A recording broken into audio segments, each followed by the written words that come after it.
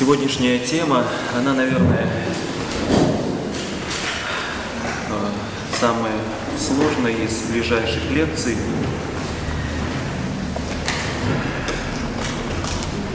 Я уже говорил вам о том, что э, мы будем читать Евангелие э, в хронологическом своде. Это значит, что будем брать один сегмент Евангелия, то есть одну цитату, с одной книги, скажем, с Матфея, другую с Марка, Луки и так далее. Для того, чтобы у нас была целостная картина о евангельской хронологии, о евангельской истории.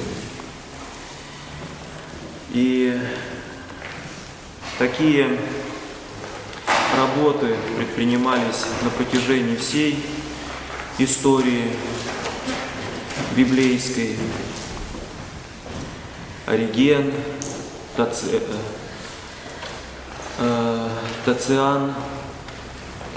И вот э, самое Феофан Затворник, это один из последних сводов. Мне он больше всего нравится, этот свод Феофана Затворника. Также есть замечательный свод э, Гладкова. Э, эти своды, они не дублируют друг друга. То есть каждый свод имеет свои особенности. Один э, библеист считает, что это место должно упомянуться в качестве хронологического первого момента. Другой считает, что другое место. Вот, э, то есть предла- э, те варианты, которые предлагаются для нас, они, конечно, являются не совсем, может быть, точными, но, тем не менее, все равно это э, достаточно точная хронология. Мы начнем с пролога. Именно так называется, э, называется первые 18 стихов Евангелия от Иоанна.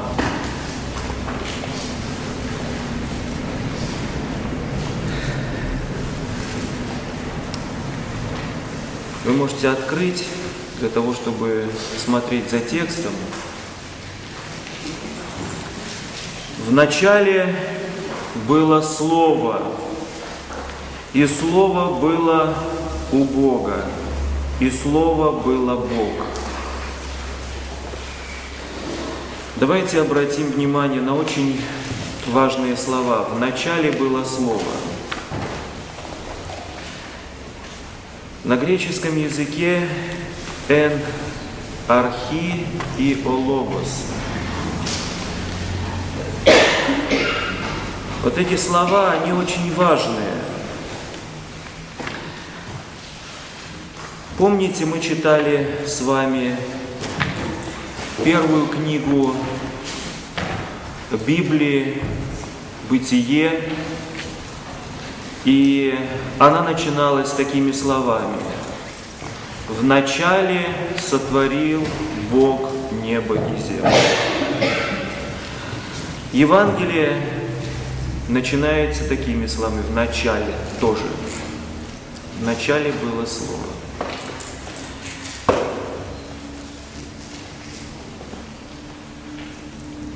Вот это очень сложная богословская тема. Мы, конечно, может быть, на ней остановим особенно много внимания. Давайте мы вначале обратимся к вероучению нашей церкви. Мы знаем из символа веры, который мы читаем каждое утро в утренних молитвах, поем вместе за божественной литургией, верую во единого Бога, Отца Вседержителя. и так далее. И символ веры нам повествует о том, что Бог троичен в лицах. Мы называем Бог Троицей. Мы даже в молитвах так обращаемся. Пресвятая Троица, помилуй нас. Троица – это Отец, Сын и Святой Дух.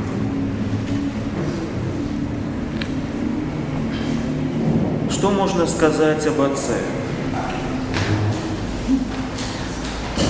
Можно сказать вначале, что о нем никто ничего не знает.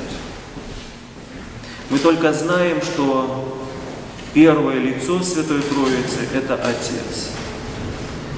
Это личность, покрытая, именно я сейчас а, буду использовать такое слово, мраком, потому что это богословское понятие. Мрак является также синонимом света. Для нас мрак – это тьма. Но для богословия мрак – это свет. Когда идет речь о божественном мраке, то идет речь о божественном свете.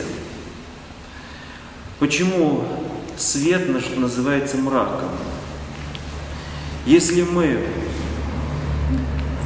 захотим посмотреть на источник света своими глазами, на солнце, то что случится с нашими глазами? Мы ослепнем, да, то есть мы э, поймем, что этот свет для наших глаз является мраком. Человек не может проникнуть невооруженным глазом а, в источник света. Глаза начинают слепнуть. И вот отец тоже покрыт мраком, божественным светом. Мы знаем, что отец послал сына своего. Вот о сыне мы узнаем больше. И вот мы узнаем именно из, этой, из этого стиха. В начале было Слово. В начале чего? В начале времени, в начале всего того, что мы видим вокруг себя. Но обращает наше внимание Григорий Богослов на это слово «эн архием» – начало, в начале. Он под началом понимает Отца. То есть Слово было у Отца. Он является началом всего. Мы называем также Бога безначальным. Безначален Он, потому что никто не является для Него началом Его бытия. Он сам в себе берет начало бытия. Но вот для Сына Он является началом. Но мы должны быть очень осторожны в, эти, э, в этом рассуждении. Потому что а, существуют ереси, которые учат, что так называемая ересь а, э, субординационализма а, якобы существует некая субординация в иерархии бытия между Отцом, Сыном и Святым Духом. То есть Отец – это больший Бог, чем Сын. А Сын меньший Бог Отца, а Дух Святой меньший Бог по отношению к Сыну и, соответственно, Отцу. Это неправильно.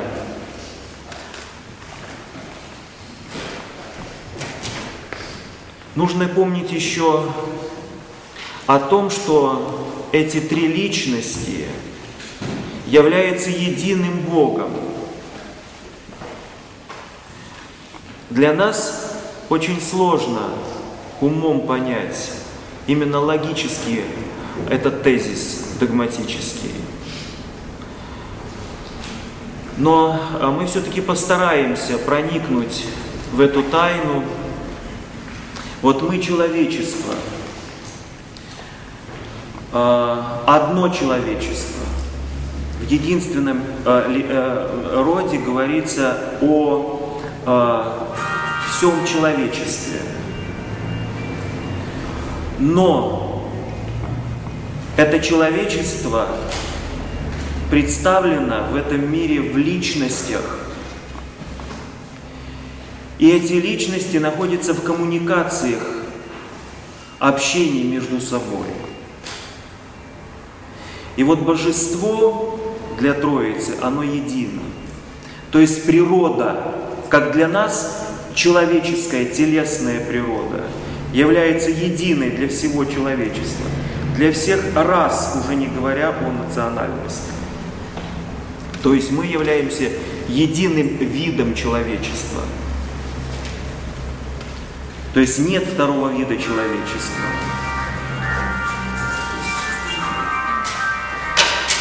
И важно э, понять, что а в какая же э, все-таки, э, какие же коммуникации в отношениях между э, Отцом, Сыном и Святым Духом? Вот природа Божества, она имеет волю, единую волю. То есть для трех лиц э, Святой Троицы воля одна. Но вот источником воли является Отец. Послушанием этому источнику воли является Сын.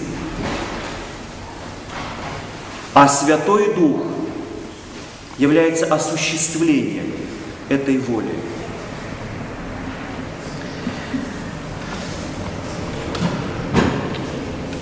Вот мы, люди, если сейчас перенести этот образ на наши человеческие отношения, для нас это будет сложно воспринять и понять. Почему?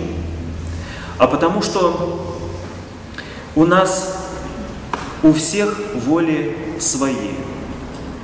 У каждого а, человека своя воля. Но ведь понимаете, здесь очень важно что понять. Воля природы, она тоже для нас является единой. Почему? Потому что, э, как мы можем, во-первых, этот момент уяснить для себя? Если мы э, возьмем наши природные э, особенности, вот человеку э, э, неприятна боль. Человек по своей воле, кто бы он ни был, этот человек, он будет что, эту, э, эту боль отвергать своей волей. То есть если какая-то угроза для него болевая угроза, он отвергать эту боль будет. Но, с другой стороны, мы настолько живем своей жизнью, личной жизнью, что мы не чувствуем боли другого человека. Мы чувствуем только свою собственную личную боль, свое страдание. Но некоторые скажут, но мы чувствуем все-таки боль другого человека. Да, мы чувствуем боль другого человека. Но для того, чтобы почувствовать боль другого человека, Для этого нужно определенное воспитание личности. И для того, чтобы чувствовать особенно чутко боль другого человека, для этого приходит в мир Христос. Боль человечества, когда он соединился своей плотью с нашей плотью, когда он воспринял нашу плоть, боль человечества стала его болью.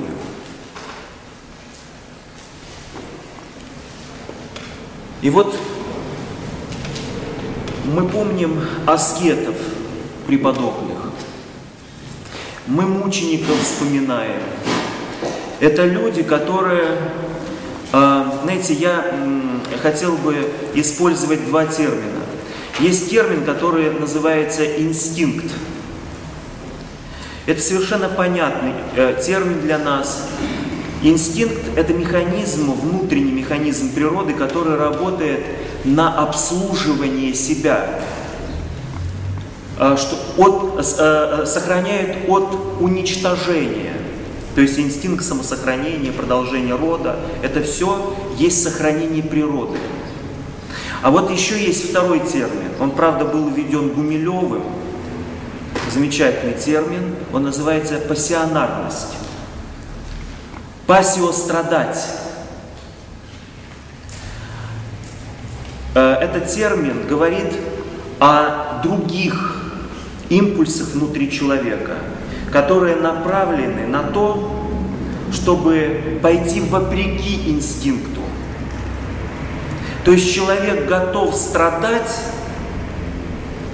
страданием чужим, то есть воспринять э, чужое страдание как свое собственное и пренебречь своей болью. И вот для лиц Пресвятой Троицы все переживания, которые происходят внутри божества, все эти переживания являются переживанием трех личностей одновременно. Что переживает Сын, то будет переживать одновременно Отец и Святой Дух. И в другом порядке.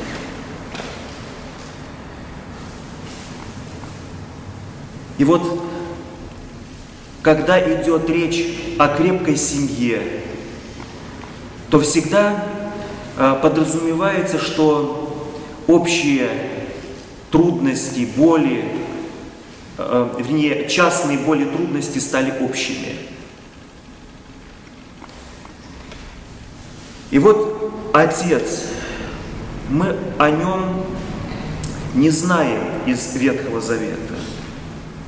Мы знаем о том, что Бог един. Но обратите внимание, об этом говорит нам э, пророчество, что Бог един. Слушай, Израиль, Бог един. Но не путайте это слово един и словом один. Потому что один это числительное, которое указывает на одного, на одно существо, а един, Бог един, указывает на соединение. Об этом говорится в Ветхом Завете, но очень и очень таинственно. Есть пророчества, намекающие на э, троечность лиц. Но такой очевидности, яркости, как в Новом Завете, конечно, в Ветхом Завете не было. Шедшие обращается Господь наш Иисус Христос к апостолам, крестить народы во имя Отца и Сына и Святого Духа. Крестить можно только в, разнозна... в равнозначные лица – то есть все эти три лица являются единым божеством.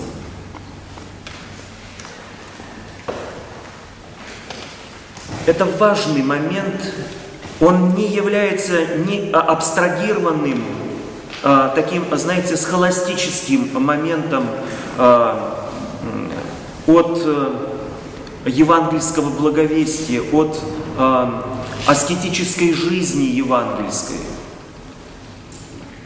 В этом догмате сокрыта э, глубина любви, любви Бога к человеку. И вот, если мы обратим внимание на тот текст, который я привел вам, э, еврейский текст, э, «Вначале сотворил Бог небо и землю», на еврейском языке звучит это «Берешит бара Элогим».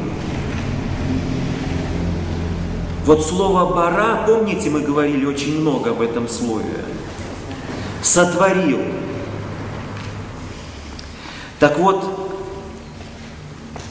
это слово «сотворил» удивительно, но оно происходит от слова «бар» – отец, простите, сын. То есть на еврейском языке «бар» – это сын.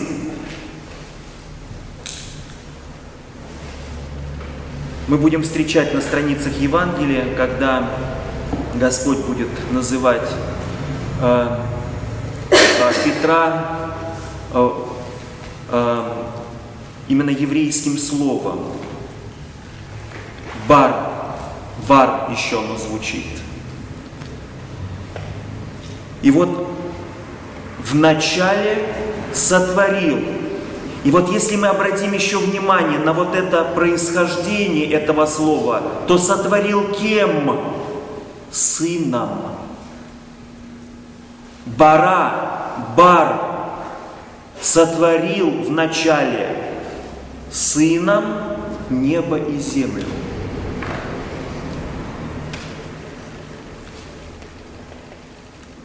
И вот мы переходим этому замечательному стиху. В начале было Слово.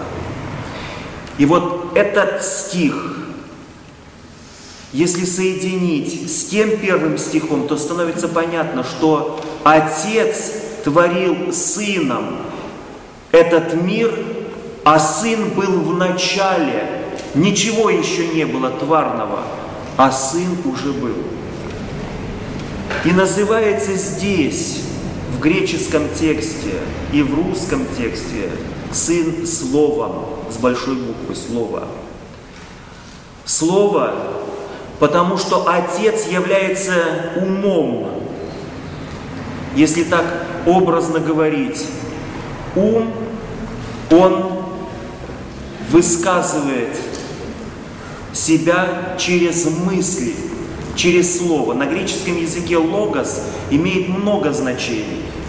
И мысль, и смысл, и слово, и ум. И вот это слово было у Бога.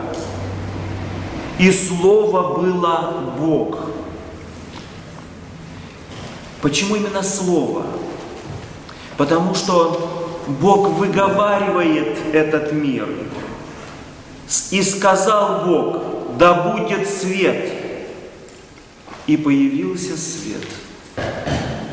То есть Бог произносит как поэму. Почему на греческом языке в символе веры Творец звучит как пиетис, поэт. Поэт, мы верим, в поэта неба и земли.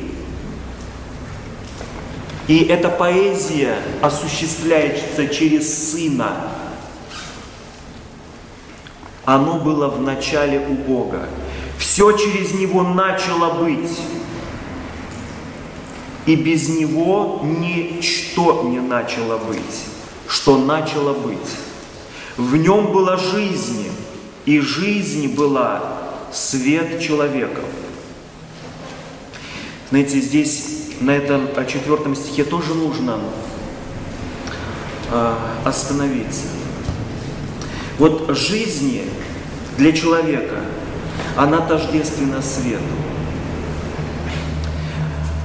Вот давайте обратим внимание, есть такой э, в ботанике э, термин фотосинтез. Именно а, происходит э, фотосинтез, это когда растение питается солнечными лучами, светом. И вот умные силы, ангельские силы, и человек в том числе,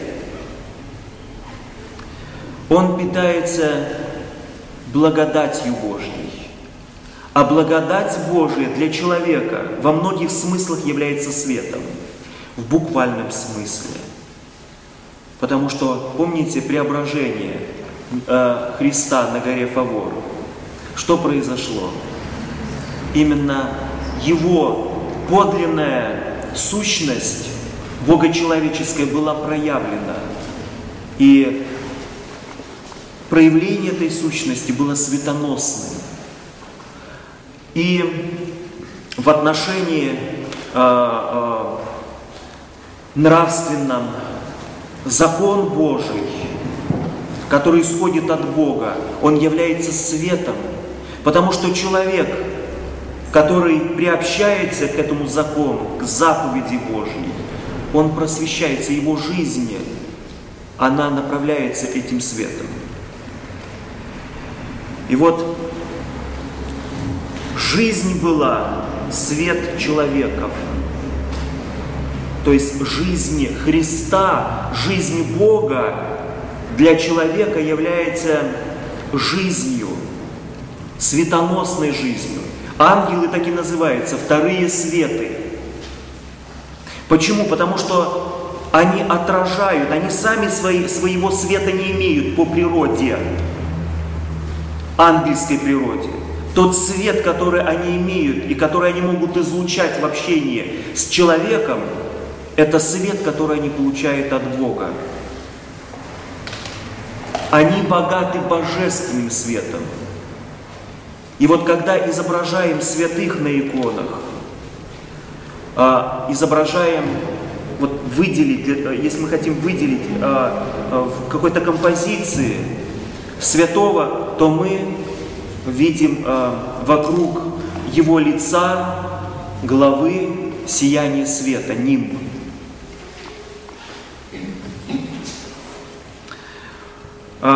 И самая э, большая скорость физического взаимодействия в этом мире – это свет. И мы, конечно, говорили уже о свете много, я как бы так особенно не хотел бы повторяться, э, потому что, наверное, мы еще будем э, касаться темы света. Сейчас мы пойдем дальше и свет во тьме светит, и тьма не объяла его. Был свет истинный, который просвещает всякого человека, приходящего в мир. То есть для нас, как для верующих людей, эти слова должны быть э, некой аксиомой. То есть единственный свет, который просвещает всякого человека, это свет, который исходит от Бога. В мире был, и мир через него начал быть, и мир его не познал. Здесь говорится о, о, о будущем Христа, о его пребывании в течение 33 лет э, в этом мире пришел к своим, и свои его не приняли. А,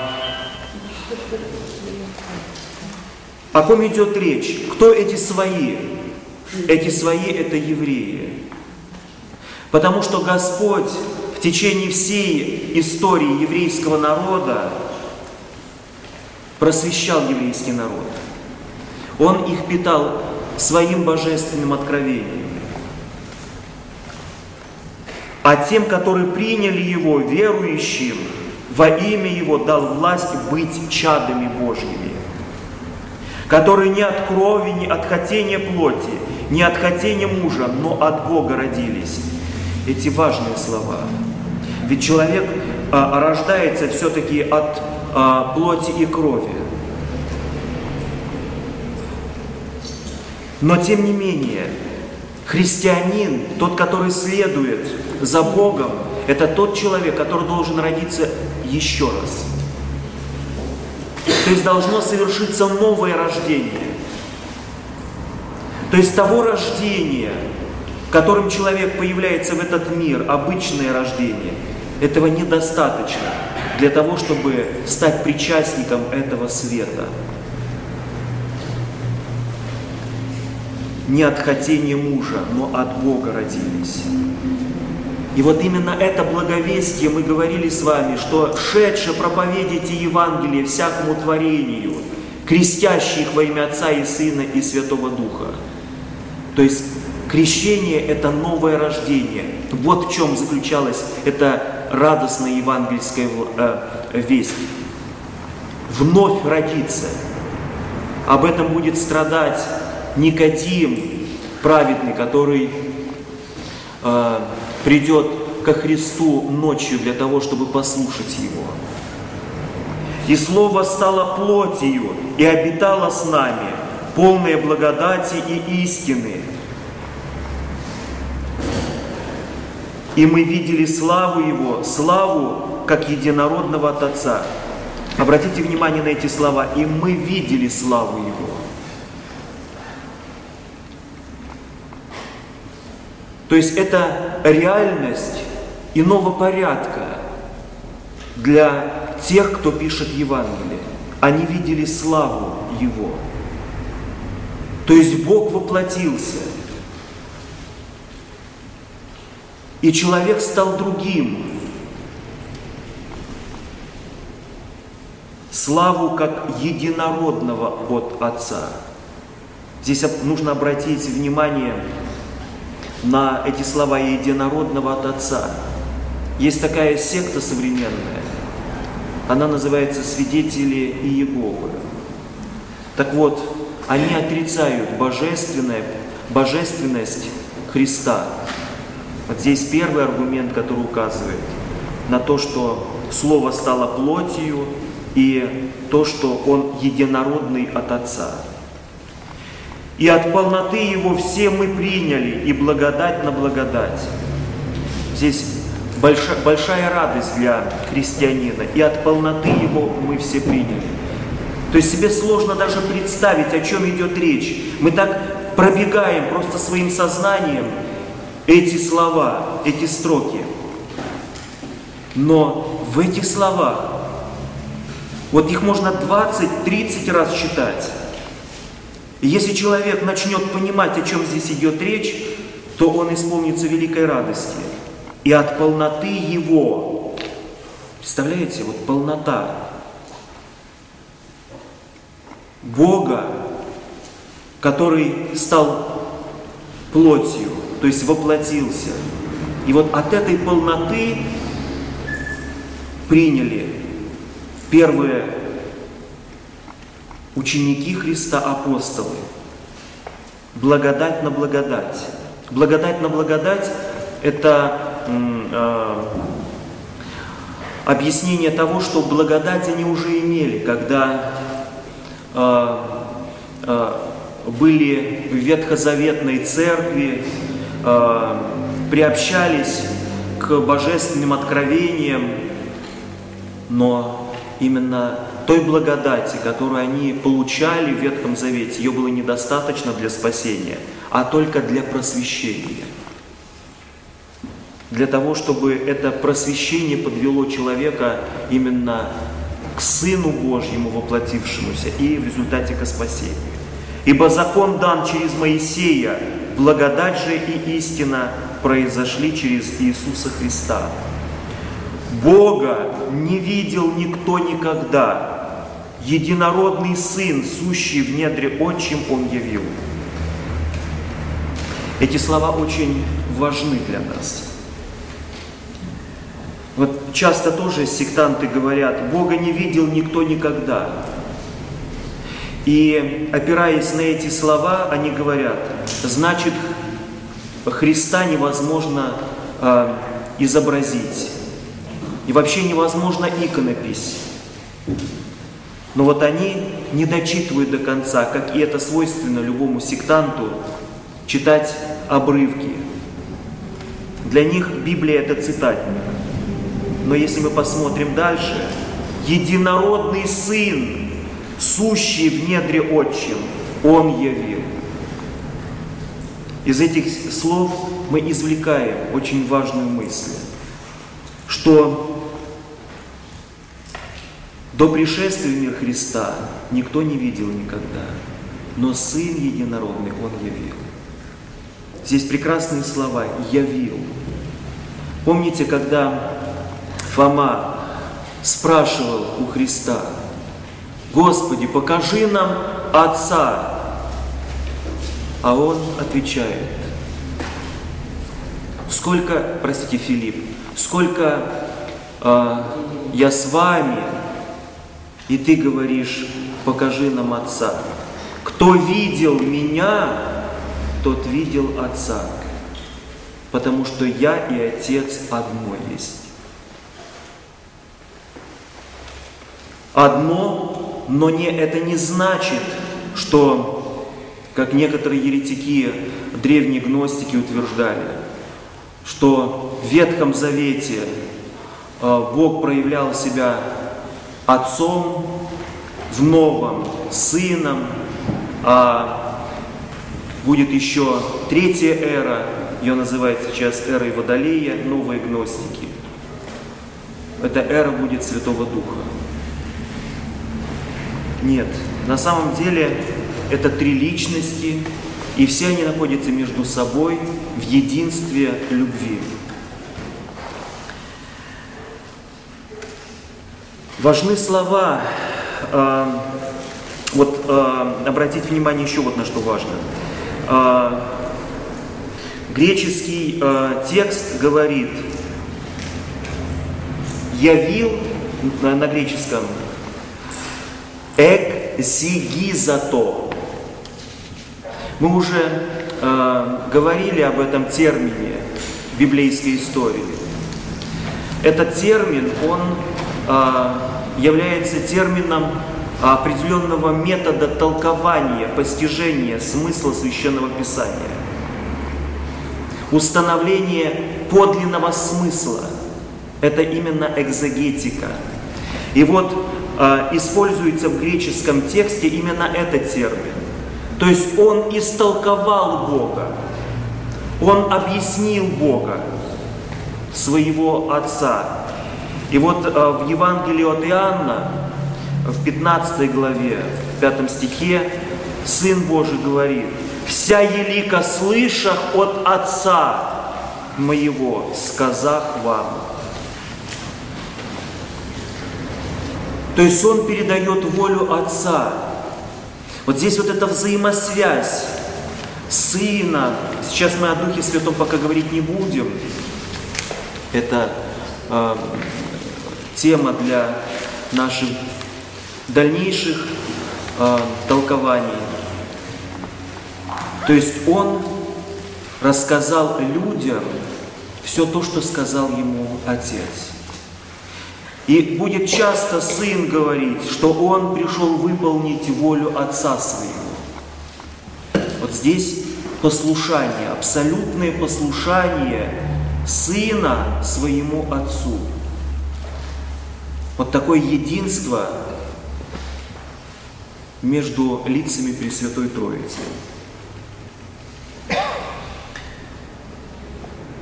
Таким образом можно ответить на э, вопросы фарисеев и книжников. Они подходили ко Христу,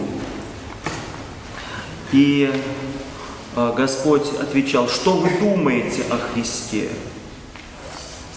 Конечно, они ничего не могли знать о Христе, того, о чем сам Спаситель рассказал от Отца своим ученикам, своим апостолам.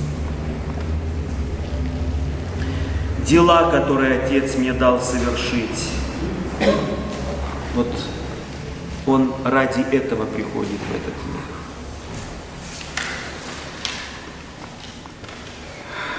А сейчас мы перейдем от пролога к, собственно, хронологической истории э, Нового Завета. Откройте Евангелие от Луки.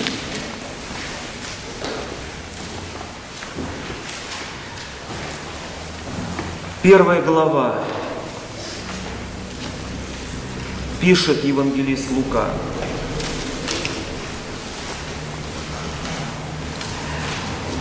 как уже многие начали составлять повествования о совершенно известных между нами событиях. То есть многие уже составляли. И вот эти многие – это Матфей, Марк. Были также а, отдельные слова э, Христа записаны. Э, не в таком объеме, как это написал евангелист Матфей и Марк. Были так называемые аграфы. Это отдельные выражения, которые имеют подлинное содержание евангельское, но они не являются частью этих Евангелий, но были э, найдены эти записи и выражает евангельский дух. То есть многие писали о Христе. Но никто не задавался важной целью изложить это именно в хронологическом порядке. Как передали нам то бывшие с самого начала очевидцами и служителями Слова – то рассудилось и мне по тщательном исследовании всего сначала, по порядку описать тебе, достопочтенный Феофил. То есть по тщательному э, исследованию. Он тщательно исследовал уже существующие документы евангельской истории. Это первый момент. А, помните, мы говорили о том, Э, какой критерий определяет э, каноничность евангельского текста. Это один, там, там три критерия, но один из этих критериев это апостольское происхождение. Апостольское происхождение. И вот здесь э, упоминается этот момент. Он говорит, а, то бывшее с самого начала, а, которые видели а, очевидцы и служители Слова. Кто служителем Слова являлся? Апостолы.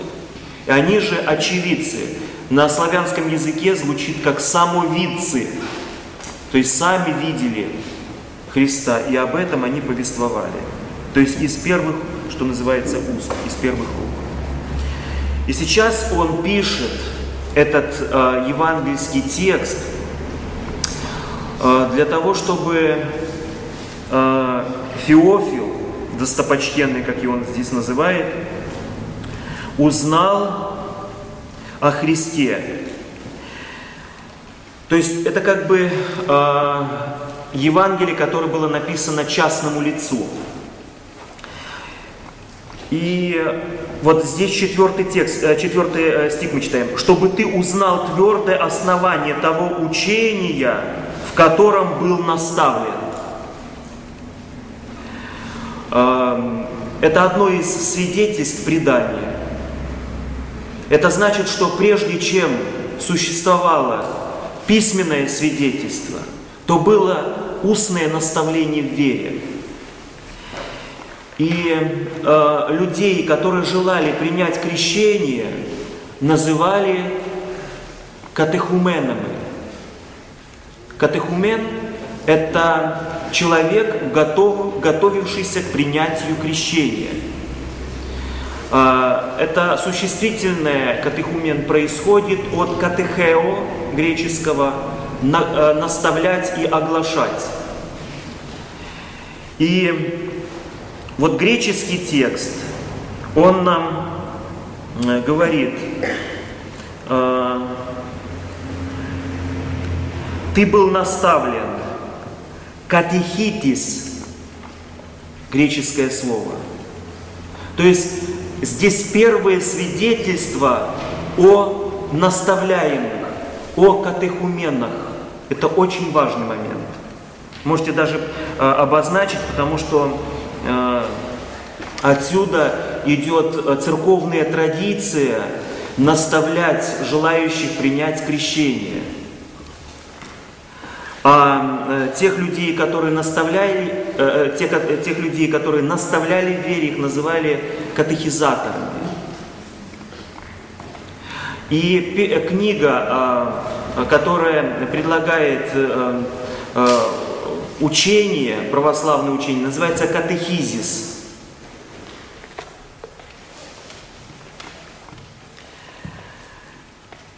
То есть Евангелие является э, неким таким письменным основанием для изучения веры и подготовки по святому крещению. Это очень и очень важный момент. Почему это важный момент? А потому что, братья и сестры, сейчас люди принимают крещение, ничего не зная о Христе, ничего не зная о Евангелии, о Святой Троице. Мы, конечно, будем говорить еще о Святой Троице, то, о чем мы уже сами только что говорили, более подробно. Но сейчас я упомянул для того, чтобы было представление о том, из каких недр, из каких глубин мы получили радостное евангельское благовестие. И для чего оно нужно? Оно нужно не только для человека, который э, принял уже крещение, но нужно и для того человека, который будет принимать крещение. Он должен знать уже Евангелие. И когда сегодня наши православные люди безразличны к изучению своей веры, Евангелия, это говорит о том, что они равнодушны и к Богу Отцу, которому мы молимся «Отче наш» ежедневно. А ведь Он послал Сына Своего Отец для того, чтобы Сын научил нас, явил благодать Отца. И мы должны руководствоваться этим смыслом, глубоким смыслом, который дает Господь. Исследуйте Писание, призывает Господь, потому что вам надлежит через эти Писания спастись и узнать обо мне, потому что они говорят обо мне, говорит Господь.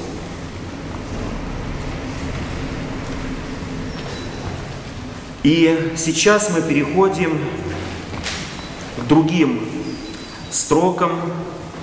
Это Евангелие от Луки, первая глава, пятый стих. В одни Ирода царя иудейского был священник из Авиевой череды именем Захария, и жена его из рода Ааронова, имя ей Елисавета. Во-первых, указывается, в какое время начинается евангельское время. Это э, время, когда царь, царем иудейским был Ирод. И вот в это время Захария и Елисавет э, а, вот и жена из рода Ааронова. А, почему это важно? Потому что они должны вступать а, в а, одном, то есть колено Ааронова должны вступать в брак только из женщинами этого же колена. Поэтому вот эта деталь тоже она важна. И вот э, оба они были праведны перед Богом, поступая по всем заповедям и уставам Господним беспорочно. Я хотел бы обратить ваше внимание на то, что евангельская история – это не биография в широком смысле, как мы понимаем биографию. Евангелие – это некая икона. На иконе э, указаны самые важные детали. Э, указывается, э, э, в ней обращается внимание на то, что важно для спасения человека не обращается на а, какие-то частности. Здесь нет описания природы, нет описания быта. Есть самые ключевые сатириологические моменты, то есть сатириология учения спасения. Вот самые сатириологические моменты. Вот они как раз указываются в Евангелии. И вот эти строки, которые говорят, что вот они были праведны перед Богом, поступая по всем заповедям и уставам Господним беспорочно, э, это важно. И у них не было детей, ибо Елисавета была неплодна, и оба были уже в летах преклонных. Да где же справедливость, скажете вы? Ведь э, считалось... Э, Считались люди грешниками э, в Ветхом Завете те, у которых не было детей. Потому что от них, э, э, от них не было продолжения рода человеческого. А тем более, если речь шла о Мессии, ведь должен был Мессия родиться, Спаситель человечества – и если они были бесплодны, значит, они были в особом каком-то а, поношении у людей и а, считались грешниками перед Богом. Но они-то были праведны перед Богом, повествует нам Евангелие. Поступали по заповедям и уставам беспорочно. И, беспри... и они уже были в летах преклонных. То есть по естеству они не могли родить. И однажды, когда он, то есть Захарий, в порядке своей череды служил перед Богом по жребию, как обыкновенно было у священников, досталось ему войти в храм Господень для кождения. Вы знаете, что священниками в Ветхом Завете могли быть только потомки э, Аарона из колена Левия. И Э, с, с течением истории э, э, было уже огромное количество потомков Аарона, и царь Давид разбил на 24 череды священства, чтобы все они в течение года могли служить по две недели в храме. Только две недели из определенной череды значит, э, в неопределенная череда могла служить в течение года, две недели, не больше. И э, по жребию, как обыкновенно было у священников, досталось ему войти в храм Господень для кождения. Но в храм, внутрь самого храма, для кождения, а кождение это э, особое священное действие ветхозаветное, э, оно Э, совершалось следующим образом. Э, священник заходил в святилище, а сам храм разделялся на две части. Святилище и святая святых. И вот он заходил, священник, в святилище для того, чтобы бросить ладан на э, э, кадильный жертвенник. И на этом заканчивалась э, его миссия именно в этом э, в храме, внутри храма. Он мог вообще не попасть за всю э, э, свою бытность священником э, внутрь святилища. А вот в святая святых один раз в год мог заходить только первосвященник. То есть святая святых никто не мог заходить, кроме первосвященника, один раз в год. И вот, э, все остальные люди стояли вне храма, так называемом дворе церковном или же притворах церковных. Это достаточно а, там сложная система была э, этих притворов, храмов, там двор для женщин, для иудеев, мужчин, для язычников там был даже двор. И ему по жребию досталось войти в храм для кождения. А все множество народа молилось вне во время кождения. То есть можете представить благоговейные чувства, переживания, которые переполняли праведного Захария. Тогда явился ему ангел Господень, стоя по правую сторону жертвенника кадильного. Знаете, если допустить такую мысль, что он вообще первый раз пошел, то есть он молился, был переполнен благоговением, тем более старчик, в летах преклонных был, и сподобляется войти. Для него храм и небо, как мир э, тайны, это одно и то же. И вот он заходит для того, чтобы совершить кождение, и видит по правую сторону жертвенника ангела. То есть он как будто в сам рай проник. Первый раз вошел и первый раз увидел такое зрелище. Стоя по правую сторону жертвенника кадильного стоял ангел. Захарий, увидев его, смутился и страх напал на него. Естественно, по-другому и быть не могло увидеть небожителя. Кто знает, может быть, он и в этот момент сиял светом, этот ангел. Может быть, даже он не мог смотреть ангелу в глаза, что, скорее всего, так и было.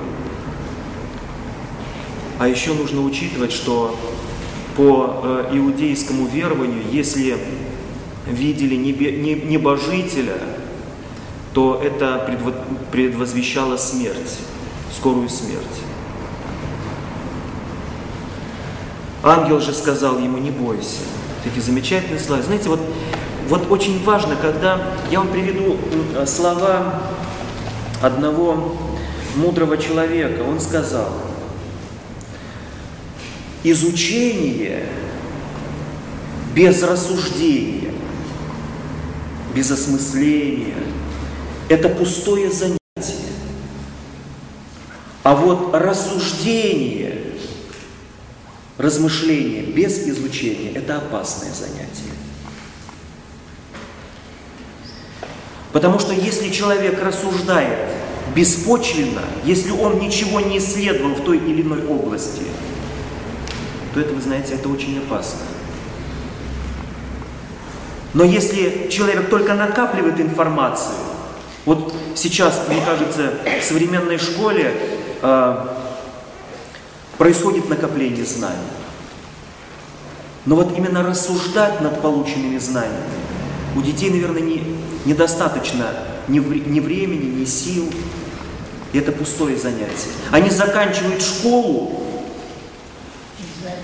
и не знают, понимаете, порой элементарных вещей. Хотя 10 лет один, а сейчас 12 лет учиться в школе нужно. Это как, знаете, шу, такая шуточка есть. Поступают дубами, а выходят липами. И вот, если мы все-таки вернемся 13 стиху «Не бойся». Это слова очень важные. Мы можем пропустить, но он успокаивает. Вот какая забота о человеке. Не бойся, Захария, ибо услышана молитва твоя. Тоже нужно нам вдуматься. Ведь, понимаете, мы часто говорим, Бог наших молитв не слышит. А вы знаете, а особенно когда поинтересуешься, а как долго вы усердствуете в таком молитвенном, непрерывном подвиге, то, конечно, узнаешь, что, ну вот вы знаете, я тут три дня подряд молюсь, и как-то Бог не слышит меня.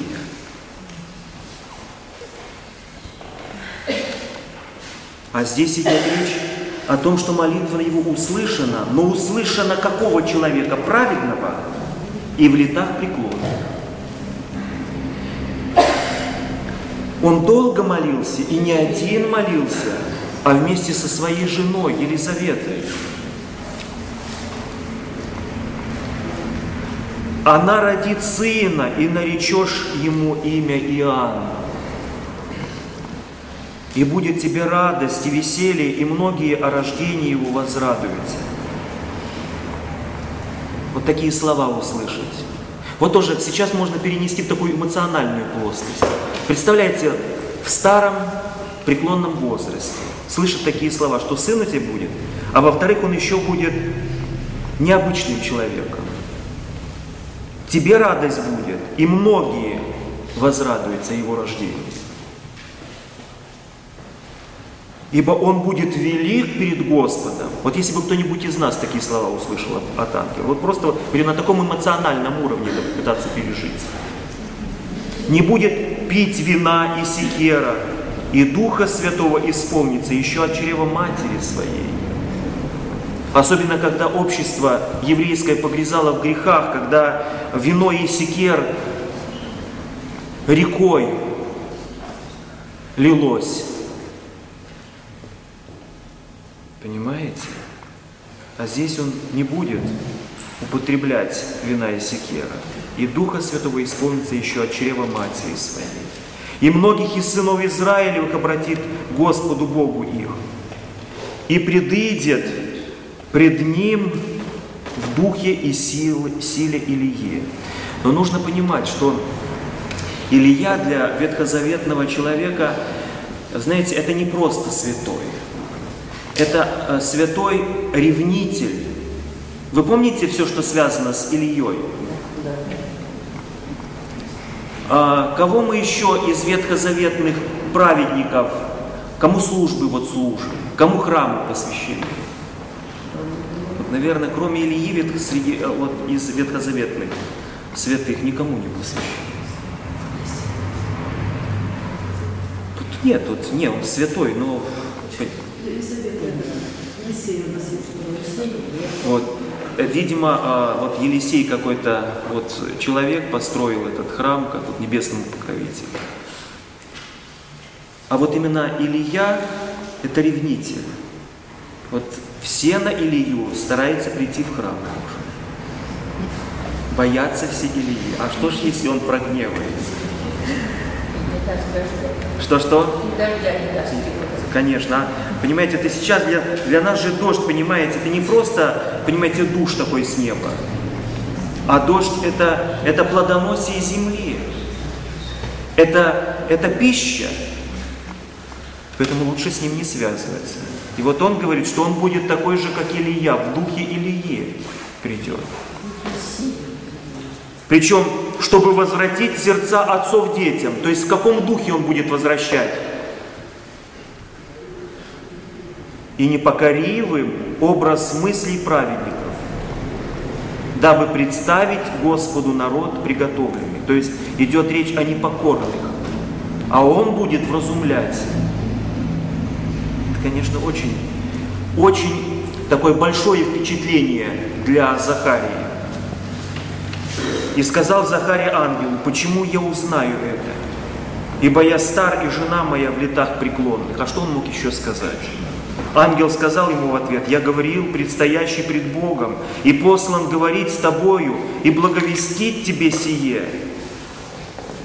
То есть вот само, а, сама вот постановка вопроса, а, она является неким таким вот э, убеждением, аргументом убеждения. Я говорил предстоящий пред Богом, и послан говорит с тобой, и благовестит тебе сие.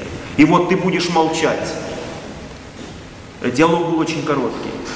И не будешь иметь возможности говорить до того дня, как это сбудется, за то, что ты не поверил словам моим, которые сбудутся в свое время. Между тем народ ожидал Захарию и дивился, что он медлит в храме. Он же, выйдя, не мог говорить к ним, и они поняли, что он видел видение в храме. И он объяснялся с ними знаками и оставался нем. А когда окончились дни службы его, возвратился в дом свой. А, обратите внимание, что когда окончились дни службы, то есть священник раньше а, в основном занимался принесением жертв. Он мог безмолвствовать, он мог ничего не говорить. Это сейчас священнослужитель приносит словесную жертву. А раньше это безмолвная жертва была. Он просто приносил жертвенных животных в жертву Богу. И возвратился в дом свой. И после сих дней зачала Елисавета, жена его, и таилась пять месяцев, и говорила, «Так сотворил мне Господь в дни сии, в которые презрел на меня, чтобы снять с меня поношение между людьми». В шестой же месяц послан был ангел Гавриил от Бога в город Галилейский, называемый Назарет, к деве, обрученной мужу именем Иосифу из дома Давидова, имя же деве Мария. Вот обратите внимание на 27 стих. Обрученной мужу. Обрученной мужу. Э, было два этапа и в ветхозаветной традиции брачных, даже три этапа брачных. И, э, собственно, в нашей церковной традиции. Первый – это помолвка, она могла быть вообще в отроческом возрасте. Могли помолвить родителей своих детей. Второй этап – это облучение. Вот если даже посмотреть по чинопоследованию церковному, когда священнослужитель православной церкви венчает, то он может а, обручить а, брачущихся, и на этом закончится первое первый этап брака. А вот э, само венчание – это уже третий этап брака. Э, обручение, э, оно э, является таким важным, воспитательным моментом, моментом в отношениях между э, молодыми людьми. Э, я считаю э, э, просто нужным объяснить этот момент кратко. Просто сейчас у нас совершенно а, отсутствует эта традиция, и, а, вы знаете, очень жаль, что она отсутствует. А, они являлись, с одной стороны, мужем и женой, но не совсем. После обручения они еще не имели права совместного плотского сожительства. Они должны были дружить, как жених и невеста. Они должны были узнавать э, друг друга именно с человеческой стороны. Они должны были подружиться. Вот это самая важная деталь – подружиться. Особенно если их помолвили э, в детстве, в отрочестве. И вот брак он уже благословлял на зачатие и рождение детей. То есть само венчание, собственно.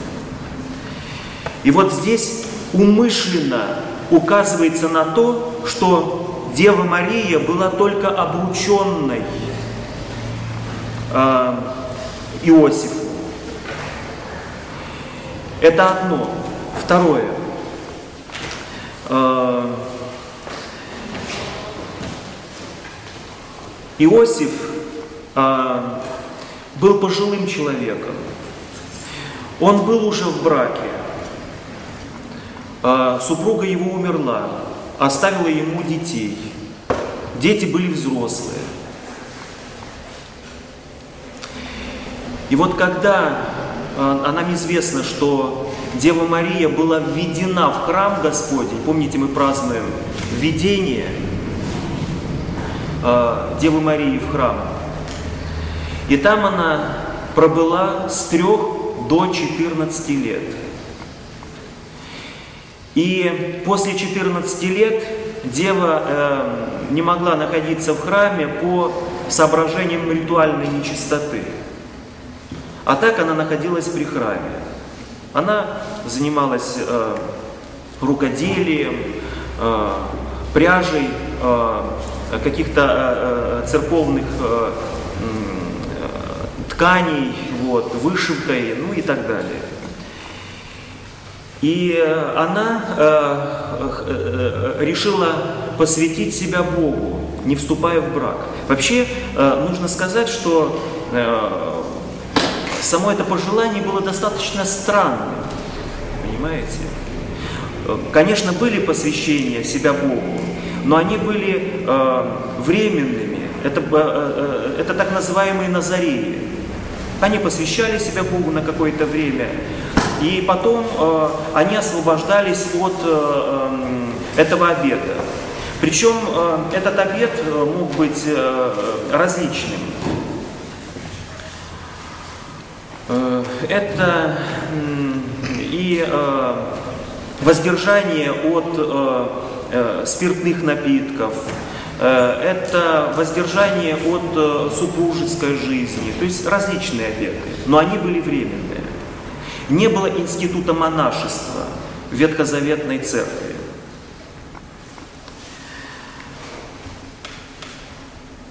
И вот она изъявляет такое желание. Конечно, все, что окружало эту девушку, это было, конечно, а, само по себе каким-то чудом. Во-первых, она поднялась по этим ступеням а, в храм, вы помните, когда было видение. А, потом предание говорит, что священник, движим Духом Святым, ввел ее в святая святых, куда и сам ты единожды в год входил. И вообще много каких-то особенностей, которые указывали вообще на Э, э, избранничество этой девы, конечно, они, э, было много свидетельств этого избранничества. И вот, она заявляет священник, священникам, первосвященнику в частности, что она желает посвятить себя Богу. И тогда они, посоветовавшись, обручают ее Иосиф, старому человеку. Ему было за 80 лет для того, чтобы он был хранителем девства ее. Почему именно пожилому человеку? Естественно, для того, чтобы он как, не, смотрел на нее как на женщину. Но также это было важно и для внешних, то есть для тех людей, которые могли искушаться ее безбрачием. Могли говорить, вот она безбрачная, вот, и, а, соответственно, а, много э, появлялось бы слухов э, всевозможных э, и, и так далее. И вот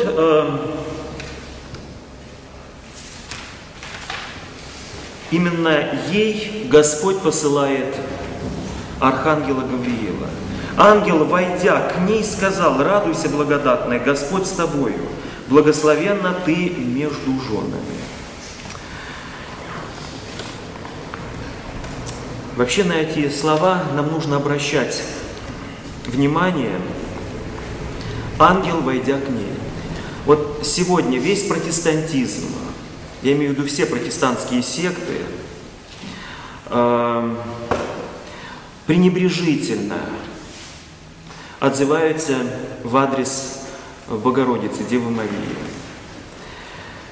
Не только пренебрежительно, но более того, кощунственно – они называют ее обычной женщиной.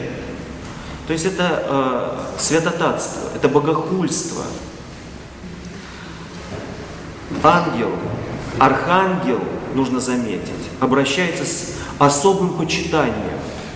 Ведь если мы посмотрим на диалог между ангелом и Захарией, он обратился словами к Захарии, радуйся, благодатный, Господь с тобою.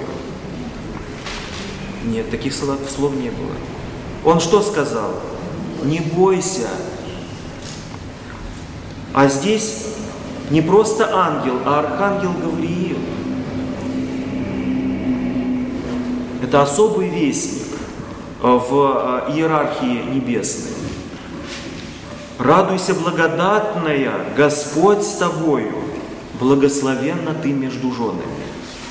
Нужно быть очень слепым человеком, или предубежденным, или настроенным против Богородицы, чтобы не замечать этих слов. Благословенна ты между женами.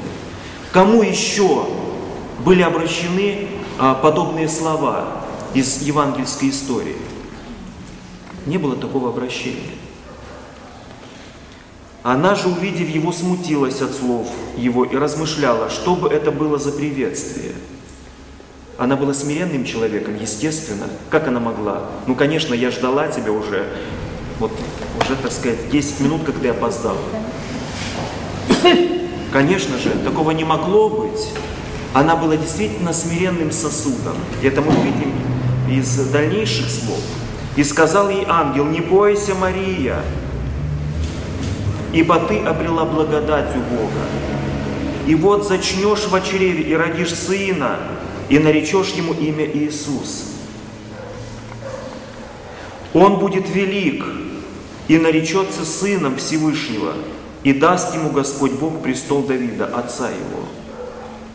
И будет царствовать над домом Иакова вовеки, и царство его не будет конца. А что здесь? За странные слова вообще. Э, он даст ему престол Давида, отца его. И он будет царствовать над домом Иакова.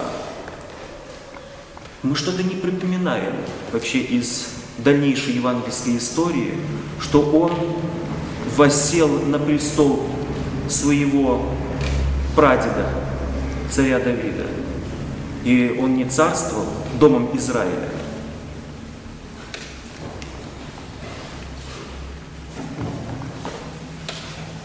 И будет, э, и, и царству его не будет конца. Мария же сказала ангелу, как будет это, когда я мужа не знаю? То есть она тоже недоумевала, как это вообще возможно. Тем более она решила посвятить э, свое девство Богу. Ангел сказал ей в ответ, Дух Святой найдет на тебя, и сила Всевышнего осенит тебя.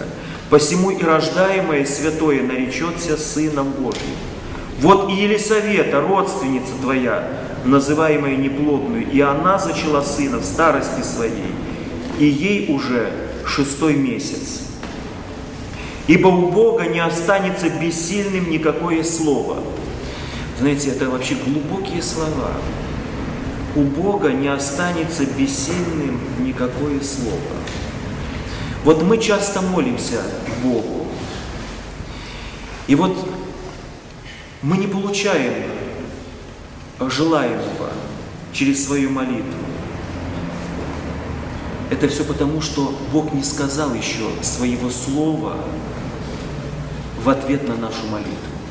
Это очень и очень важно понять.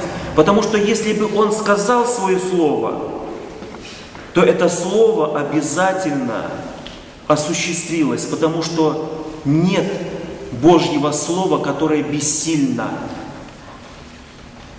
Слово Божие, оно творческое и созидательное. Значит, Бог думает о нас, но Слово Своего еще не произнес. Это мы можем лепетать, но Бог не лепечет. Бог отвечает. И вот когда идет речь о молитве, то идет речь о вот какой-то особой внутренней напряженности и очищенности перед Богом. Молитва – это особый путь. И вот для нас молитва стала повседневностью. Мы просто читаем молитвы, мы их прочитываем, и они просто звучат в нашей жизни духовной. А ведь Господь говорите, говорит, просите у Отца во имя Мое и даст вам. Почему же не дает? пока мы все оставляем без ответов. И относительно царства, и относительно ответа. Тогда Мария сказала, «Се раба Господня, да будет мне по слову твоему», и отошел от нее ангел. Когда слышат сектанты слово «раб Божий», их начинает просто, вы знаете, это очень смущать. Ну как это так? Как, какие мы рабы? Мы не рабы. Мы уже слышали, говорят, рабы не мы, мы не рабы. Мы сыновья Божии. А вот здесь Дева Мария, которую Господь приветствовал как благодатная, которая родит Сына Всевышнего, она отвечает, «Все раба Господня». Поэтому мы начинаем понимать, что Евангелие – это не цитатник. Евангелие может вчитаться только человек и понять, что там есть, который живет в церковной традиции, церковной традиции смирения, церковной традиции молитвы, Евхаристии. Только для него эти слова о чем-то говорят. Только для него эти слова являются неким руководством к жизни. Мы не выискиваем цитаты, мы читаем все подряд и находим для себя там основания для своей духовной жизни.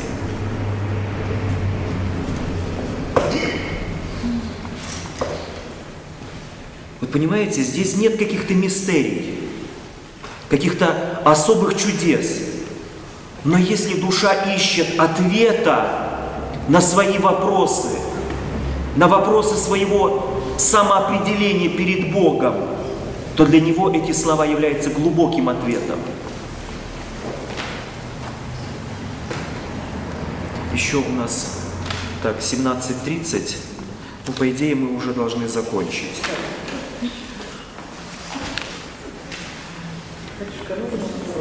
Так, полтора часа. Вопрос можно? Вот вы говорили, что Святой Дух ну, Да-да. меньше и строится, правильно? Нет, нет, нет, нет, нет. Нет, это заблуждение. Ну, Отец, затем Господь и Э, Сын, да, и Святой Дух. Да. А помните, если там где-то э, Господь говорит, что Отец более меня есть. ну, великий, понятно.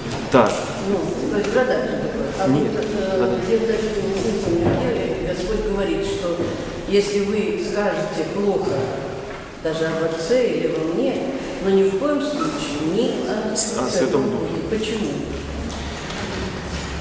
Так, вы знаете, для того, чтобы ответить на этот вопрос, так, э, давайте мы оп- определимся. Мы полтора часа уже занимаемся. Значит так, э, мы вообще два часа, не больше, да, то есть полчаса на ответы или мне, э, я думаю, что, как мы поступим? То есть, что-что, дальше? Дальше. То есть мы будем сколько вообще заниматься? Два часа или полтора часа? Два? Два. Ну хорошо, ну давайте тогда э, час сорок пять. Хорошо. Хорошо, давайте. э, с этой темой. Все-таки про царство Давида объясните, пожалуйста. Нет, я умышленно, я только обозначил эту проблему. Я умышленно. Вот. Я пока не отвечаю. Потому что если сейчас, если я сейчас начну объяснять эту тему, это, конечно, будет долго. Понимаете? Потому что последующее Евангелие, оно будет как раз все это объяснять. Так, ну давайте так, я еще 10 минут по Евангелию и потом еще на вопросы отвечу. Так, чтобы э, где-то мы в 2 часа э, э, закончили. Так, и, и отошел от нее Ан. А, сераба Господня, да будет мне по слову твоему. И отошел от нее ангел. А, вообще, э, да будет мне по слову твоему. Ведь это тоже очень важно. Понимаете, вот когда читаешь подвижников благочестия, что потрясает прежде всего? То, что эти люди сумели расслышать слова Божие как слова Бога, которые обращены Бога к ним лично, вот именно в этот момент.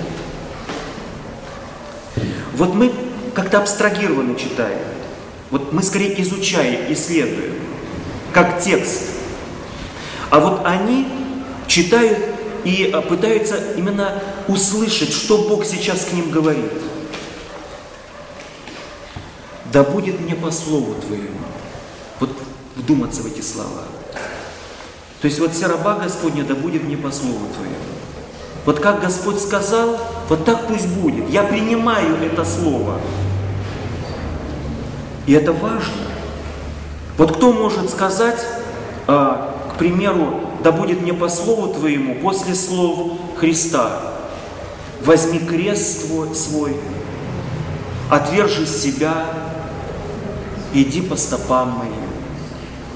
То, что имеешь, раздашь, продашь, и будешь иметь сокровище на небесе. Вот представьте себе, Господь явился нам с такими словами. Мы сможем сказать, вся раба Господня или раб Господень, да будет мне по слову Твоему.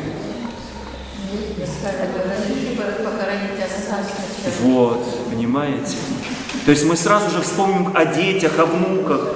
Господи, дай возможность воспитать, прокормить и так далее. А потом будем уже думать о Царстве Небесном. Вы понимаете, какая вот именно глубина. Вот когда Антоний Великий услышал эти слова, которые я привел только что вам, он принял это как именно слова, которые были обращены Христа к нему. Он услышал эти слова, э, э, э, когда читалось Евангелие в храме. И он оставил все, он пошел. Он ушел в пустыню, и он там был до конца своих дней, не сходя с этого пути, потому что с креста не сходят, с него снимают.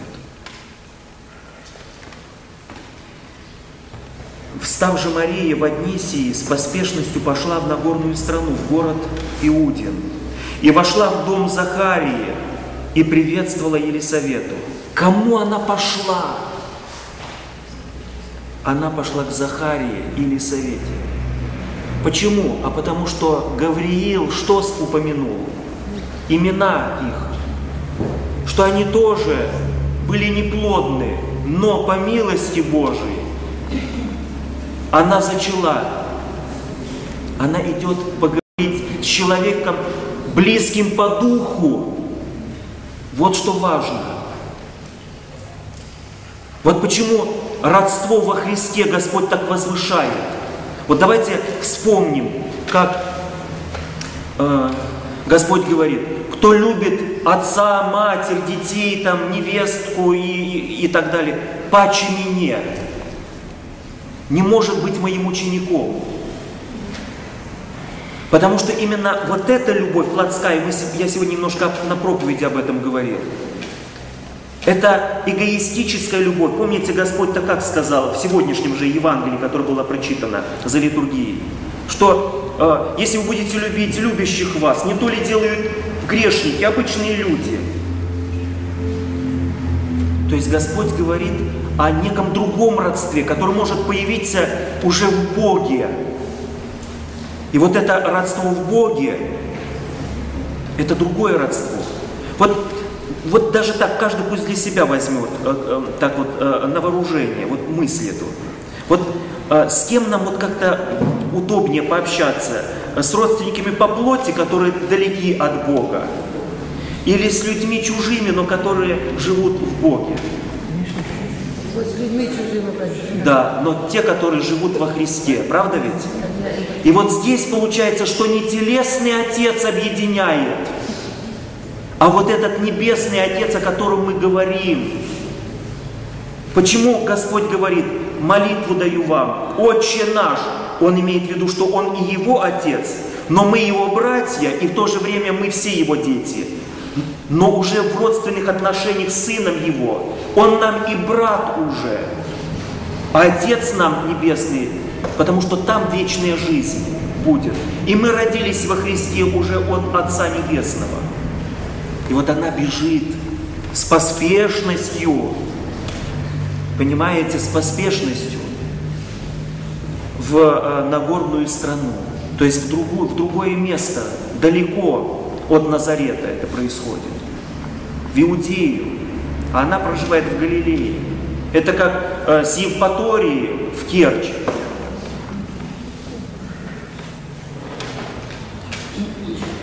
Нужно еще отметить, что благовещение, это вот момент благовещения, на, э, на греческом языке благовещение звучит как евангелизмос. То есть именно вот этот сюжет, именно это событие тождественно всем книгам, который называется Евангелие. Именно в этом было Евангелие. Благовещении произошло зачатие от Духа Свята. То есть это день зачатия Христа, день Благовещения. Он принял плоть человеческую и вошла в дом Захарии и приветствовала Елисавет. Видите, не повествуется о том, как она шла, хотя это длинное, знаете, э, какой-нибудь там, э, так сказать, э, билетрист мог бы все это растянуть, понимаете, на, на добрую сотню страниц. Приключений очень много там могло быть у него на странице. Все, и вошла в дом Захарии. То есть о самом главном идет речь. Когда Елисавета услышала приветствие Марии, взыграл младенец в чреве ее, и Елисавета исполнилась Святого Духа. Вы чувствуете, какая, понимаете, красота? То есть вот, понимаете, вот младенец, которому пять месяцев, пять месяцев был, который в утробе Елисаветы, он услышал своего Творца. А Елисавета исполнилась Святого Духа и воскликнула громким голосом. Вы представляете? Громким голосом. Вот встречается, и там вот, понимаете, вот громким голосом. Это подчеркивается. То есть это было, и сказала, благословенна ты между женами, и благословен получает. Она сказала просто по эмоции это? Нет, от Духа Свята. То есть она что, благословенна между женами, и благословен плод чрева твоего.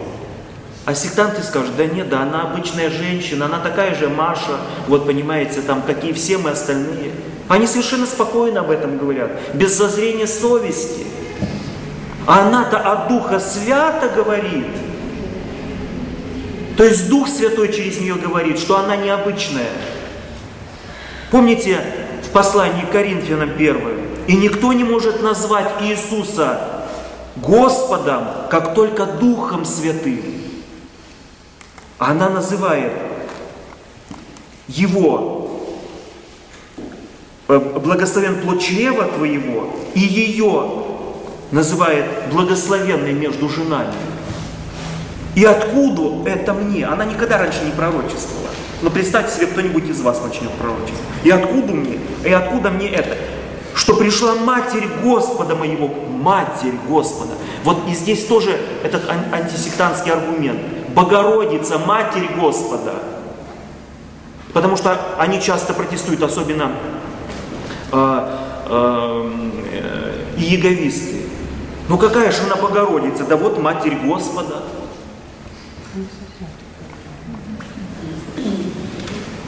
Кто может еще называться Матерью Господа?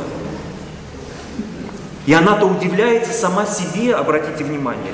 Ибо когда голос приветствия Твоего дошел, до слуха моего взыграл младенец радостью в чреве моем. То есть настолько вот и сама Дева Мария была исполнена Духом Святым. То есть вот, вот она на самом деле духовная встреча. И блаженно уверовавшая, потому что совершится сказано ей от Господа. Она называет блаженной ее, уверовавшая, то есть о Богородице. И сказала Мария, величи душа моя Господа. И возрадовался дух мой о Боге Спасителе моем, что презрел Он на смирение рабы своей, ибо отныне будут ублажать меня все роды, но только не сектанты. Я заканчиваю здесь несколько стихов и все. Кто сотворил мне величие сильный, величие сотворил сильный.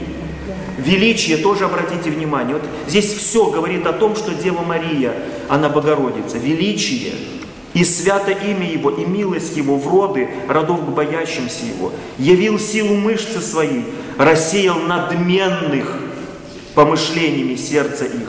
Вот почему сектанты постоянно дробятся? Потому что рассеял надменных помышлениями сердца их. Вот у них только помышления. Вот они постоянно между собой. Вначале они спорили, протестовали. Лютер, Цвингли, Кальвин. с католичеством, а потом уже между собой до сегодняшнего дня. Они постоянно друг от друга отпадают. Вот, рассеял, не сложил сильных с престолов и вознес смиренных, алчущих исполнив благ, а богатящихся отпустил ни с чем. Воспринял Израиля отрока своего, воспомянул милость, как говорил отцам нашим, к Аврааму и семени его до века. Прибыла же Мария с ней около трех месяцев и возвратилась в дом свой. Вот это Евангелие мы часто слышим за утренним богослужением, когда э, э, совершаем праздник, посвященный Деве Марии. Значит так, пока мы э, движемся э, по Евангелию от Луки, потому что Евангелие от Луки, оно самое хронологическое. Потом мы будем переходить э, на другие Евангелия. Так, а сейчас я э, отвечу на ваши вопросы. Значит, что касается первого вопроса. Почему именно хула на Духа Святого не простится? Понимаете, здесь нужно э, как бы э, четко понимать, что происходит с человеком, когда он начинает приобщаться э, к Богу. Я говорил уже, что Отец – это источник воли, Сын – это послушание этой воли, а Дух Святой – это исполнение этой воли. Исполнение в ком этой воли? В людях. То есть Дух Святой, помните, говорит э, Писание нам, что Он будет молиться внутри, каждый войдет в человека и будет молиться «Ава Отче». То есть христианин молится Духом Святым к Отцу. Почему? Неужели мы сами не молимся? Дух Святой, когда входит внутрь человека, то он соединяет человека с Сыном. Потому что все таинства церкви, они совершаются Духом Святым. Но они, все эти таинства, совершенные Духом Святым, приобщают ко Христу, к Сыну. И получается, что мы включаемся, приобщаемся к лицам Пресвятой Троицы, Сыну и Святому Духу. И вот когда внутри нас Сын и Святой Дух, то эти лица, кому они будут обращены? К Отцу. Потому что Отец – исток всего. А мы получаемся уже собеседниками. Помните, даже так э, э, э, очень эмо, как бы эмоционально говорит Господь, что кто откроет дверь сердца своего, к тому я войду и буду вечерять с ним. То есть настолько вот близко, а вечеря это что? Это общение. Это прежде всего вот именно вот это общение. И вот понимаете, когда человек отрицает Духа Святого, то он отрицает в себе вообще всякий импульс внутри себя Бога. Отрицающий Святого Духа – это отрицающий вообще всякое, всякую перспективу общения с Богом. Если он не понял каких-то э, моментов, скажем так, вероучительных, отца, сына, то это от невежества. Но если он отрицает внутри себя Святого Духа, то он отрицает внутри себя совесть. А совесть – это как раз, когда говорит внутри нас голос Божий. Он отрицает, по сути, себя, свое человечество. И поэтому этот человек, он уже не сможет вернуться именно к Богу. И поэтому не проститься. И вот еще один момент нужно обратить внимание – апостол говорит, что грех – это вражда против Бога. Почему вражда против Бога? А потому что когда приходит нам помысел согрешить, то в ответ на этот помысел сразу же голос совести нам говорит, не делай этого. Но голос совести внутри нас – это голос Божий внутри нас. Это голос Святого Духа внутри нас. И говорит нам голос совести, голос Божий. Почему называется совесть? Э, приставка «со» э, на совместное действие указывающее и «ведать», совместные знания или просто существительный совет. То есть Бог советует нам, не делай, не поступай плохо. И вот если человек все-таки поступает плохо, то что он прежде чем совершив грех делает, переступает через голос Божий внутри себя, через совесть, через Духа Святого внутри себя. И поэтому апостол определяет грех как вражда против Бога. То есть вот вдуматься только, понимаете, что на самом деле происходит, когда человек грешит. Он воюет против Бога, он борется с Богом. Поэтому, Спасибо. да, такое объяснение. Спасибо. Первой, так, как будто бы она первый раз не там Да. Первый раз? Реакция. Реакция Ну, ну. когда она будет вот такая, что она уже с ними встречалась, что это первый раз. Ну, вообще предание нам говорит о том, что э, э, были явления ангельских сил. Вот. И, конечно, то, что есть в Писании, в данном тексте, как бы больше сказать сложно, понимаете, потому что э, вообще для нас вот э, с- с- э, сама наша эмоциональная сфера, сфера нашего ума, вот, это которая, которая прикасается, знаете, как музыкальный инструмент, и к этому музыкальному инструменту прикасается э, рука. Рука именно э, музыканта, виртуоза. Эта арфа начинает звучать красиво. А если, понимаете, э, ну просто какого-то профана прикоснется, это будет э, стон, который песней зовется, помните? И вот, если Дух Святой прикасается к душе человека, вот она именно в этот момент раскрывается в такой красоте, в такой полноте, потому что именно наш внутренний музыкальный инструмент именно этого, вот именно вот этого веяния ожидает, понимаете, именно вот этого прикосновения, который не повредит этот музыкальный инструмент, не будет этим музыкальным инструментом забивать гвозди, а будет играть и извлекать прекрасную музыку. Понимаете? Поэтому что творится с человеком, когда касается его духа? Понимаете, у каждого человека это по-разному происходит.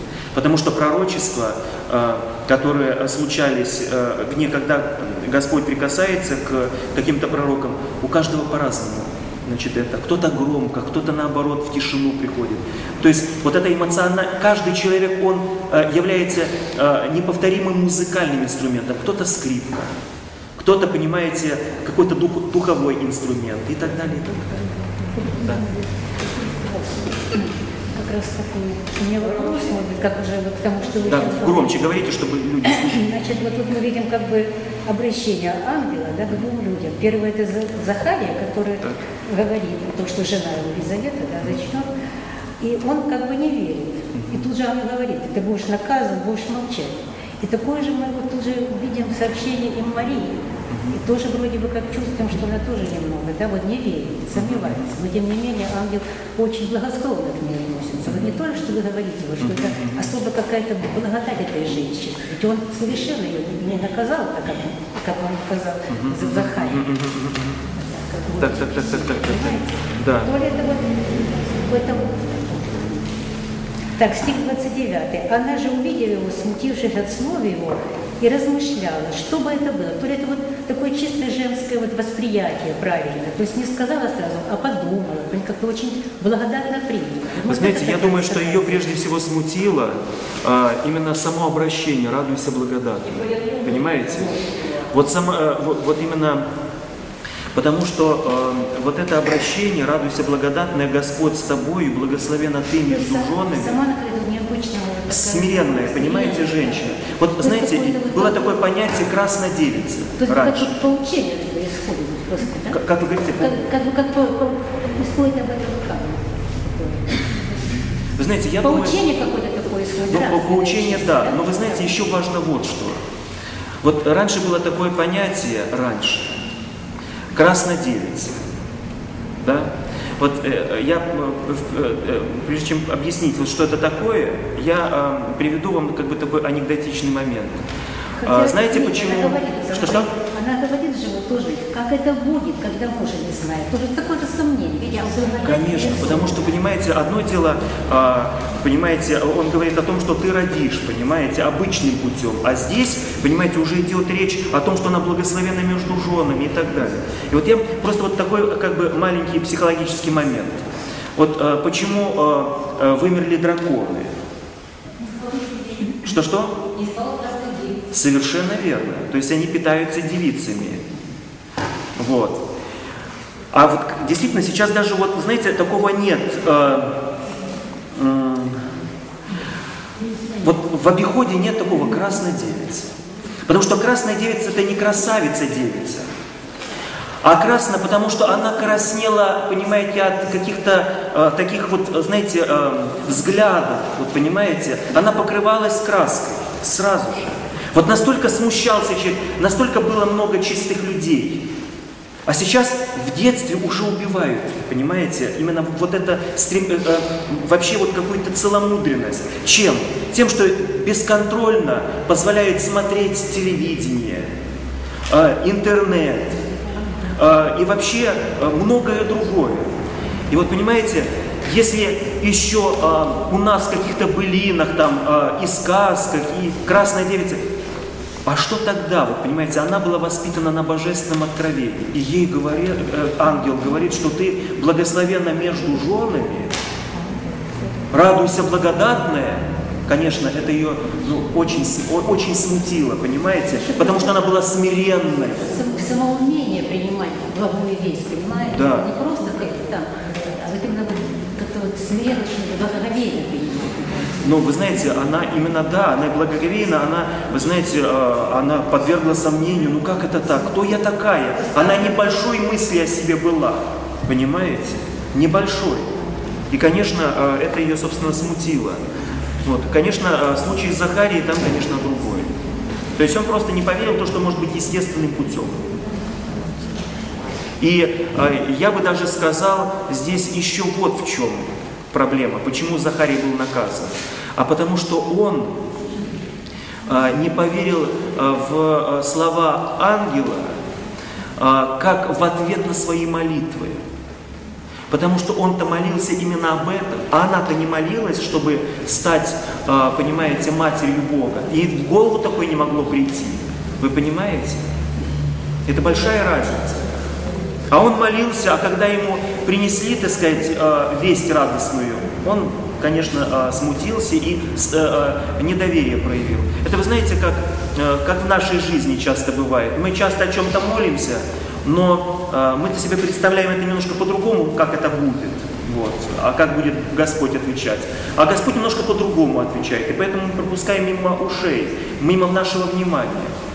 Понимаете, видимо, он себе сценарий другой представил, что вот как это будет вообще.